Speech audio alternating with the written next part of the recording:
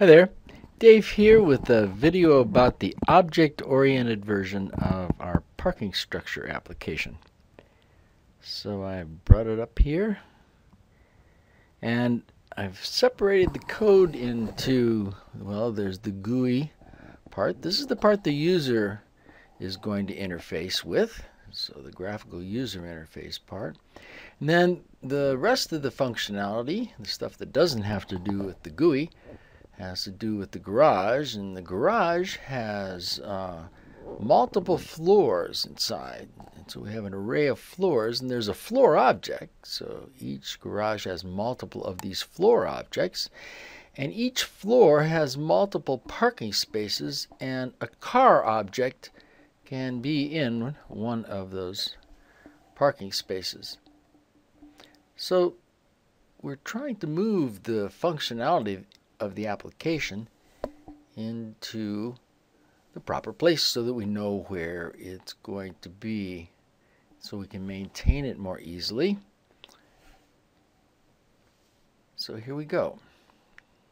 The GUI uses the garage and the car and the floor and so we import them we can see that the garage uses just the floor and the car, and the floor uses just the car, and the car doesn't use anybody. The car is real simple. All he has is a constructor, that's that underscore underscore init. And when we make a new car, we merely pass in the owner and the plate. And then we go ahead and remember the owner and the plate so that when we make this new object called self, it has an owner and a plate. And when we get it back from wherever we made it from, then we can put a name to it. We can see that the floor is also pretty simple. It has a constructor where we're passing in the name of the floor, and that happens to be a color in this situation. And I changed this from class. Uh, we used to ask for the color. I actually created when I uh, build it in the garage. We'll see that in a couple of minutes. So I'm passing in the floor name and the number of spaces. And so I go ahead and I remember that floor name for this instance that I'm creating of the floor object. And then I go ahead and I have an array called parking spaces that I'm also going to remember. So each floor is going to have a name and some parking spaces. And then I go ahead and load up those parking spaces with null length strings just like we've seen before. And now I have two methods that this garage, excuse me, that the floor can do. It can, uh, it can add car to space and it can remove car from space. So when we add a car to a space, what we're doing is we're passing in a car object and the space that we want it to go to on the floor. Remember, we're in the floor. So we're going to pass in the car that we want to put in and the space number.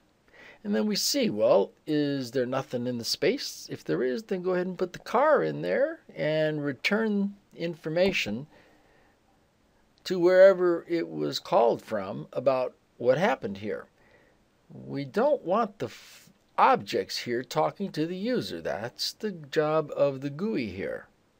So all we want the objects doing is returning information about its status and letting the GUI make the decision about what the user sees. So notice that we're returning strings of what happened.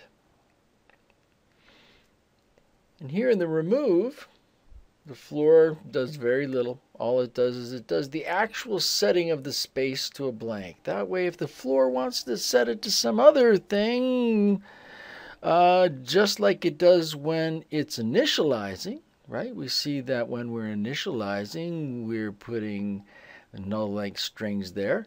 So if we wanted to change that to something else in the initialization, we could also change it in the remove and nobody in the outside world would be any the wiser. This is called encapsulation.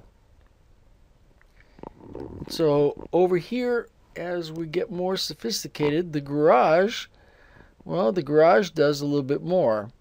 It's going to take in the name and the address. Yeah, we'd like to have the name and address of our garage, then the number of floors and the number of uh, spaces on each floor.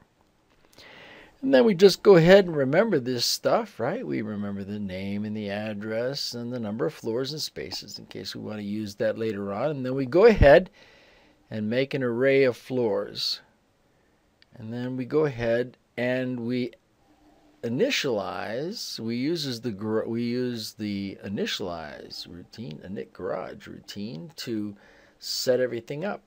And there's a init garage right inside the garage object. Sure, it doesn't belong inside the GUI, it belongs inside the garage. So we have to think about what's being done and why it goes in the code where it's being where it is.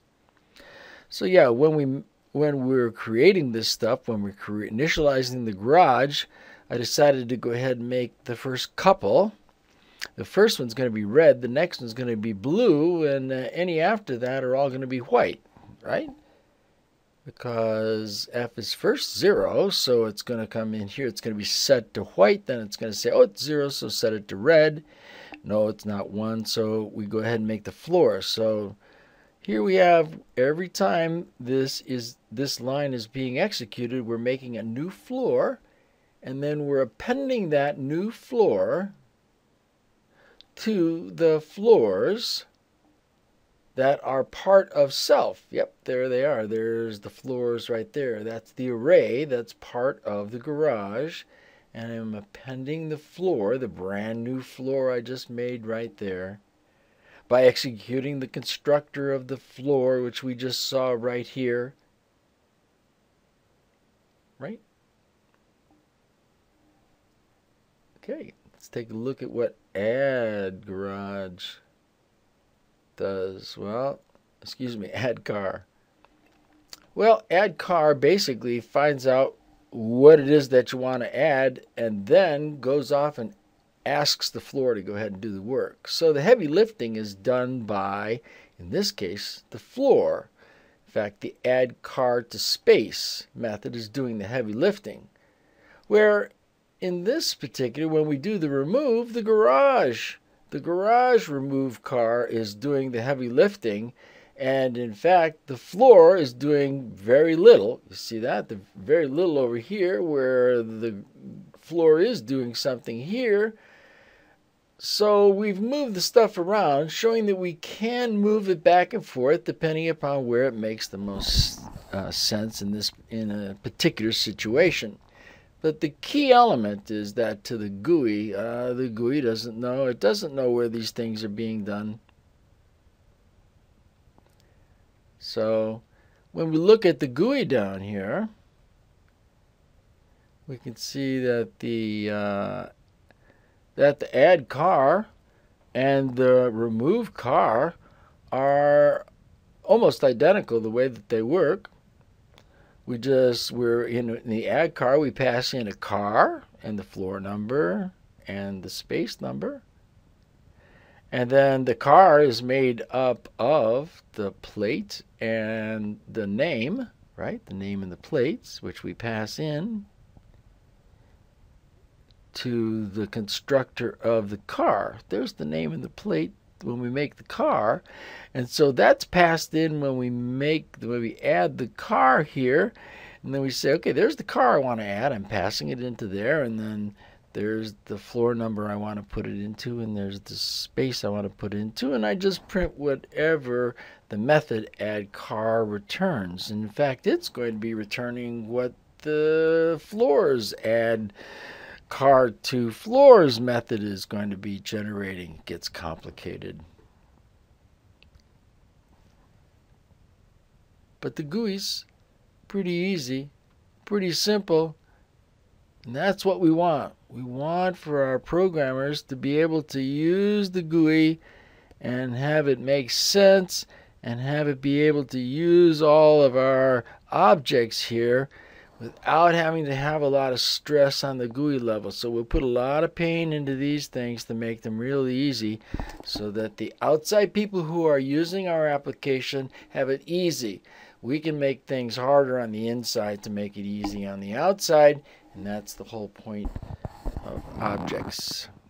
See you later.